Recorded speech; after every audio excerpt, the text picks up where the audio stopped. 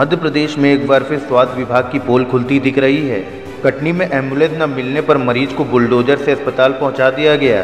कटनी में एंबुलेंस न मिलने पर परिजनों ने जेसीबी से अस्पताल पहुँचाया।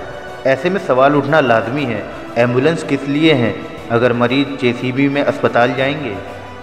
Bureau report, IPN. वहाँ पर एक दोनों टू व्हीलर आमने सामने टक्कर हुई हैं, जिसमें काफ़ी गंभीर भी हो गया है, उसका पैर फ्रैक्चर हो गया है। एंबुलेंस ना होने की वजह से दो चार ऑटो वालों को भी रोके अपन। ना होने की वजह से मेरी मशीन खड़ी थी जेसीबी। उससे भाई, रफ़ीक भाई बोले कि अपन इसी से लेके चलते हैं। अभी गाड़ी नहीं मिल पाएगी। आधे घंटा वेट करने के बाद भी नहीं इसलिए हम लोग जेसीबी से लेके उसको आ गए चार बजे की लगभग घटना है।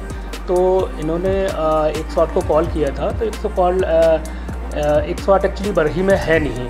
पिछली एजेंसी चेंज हुई है तो वो बर्ही की गाड़ी राइट ऑफ़ हुई है, जैसे मेरे को जानकारी मिली है। बट नई गाड़ी के लिए प्रपोज़ल भेज दिया गया है, बड़े जल्दी वहाँ पे अवेलेबल हो जाएगी। तो इन्होंने जो नियर अबाउट जो सी एस सी है, बिजरावगढ़ में, वहाँ आने में देरी हो रही थी उसमें। प्लस दो गाड़ियाँ जो एंबुलेंस हैं, वो बड़ी ही सी में खड़ी हुई थी। तो वहाँ एक्चुअली किसी ने कॉन्टैक्ट नहीं किया। तो अपने ऑन खुद से जो है ये पेशेंट को लेके आए थे।